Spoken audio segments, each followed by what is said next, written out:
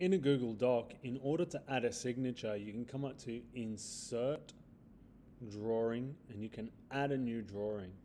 So you get a drawing window up here. We can dismiss this notification. And over here, we can select the type of line that we're going to draw. We can select scribble here. And then with the scribble tool and our trackpad, we can write our signature in here you just click on the trackpad and you start to draw and then you get your signature show up.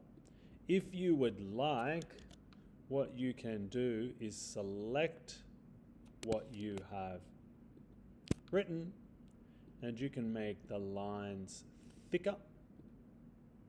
You can also change the color. There's lots of different options here.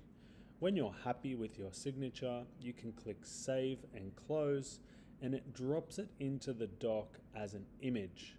So if you resize that image, you can get it to fit into any space that you need it to. Then we can delete these spaces here and I have my signature inside my doc here.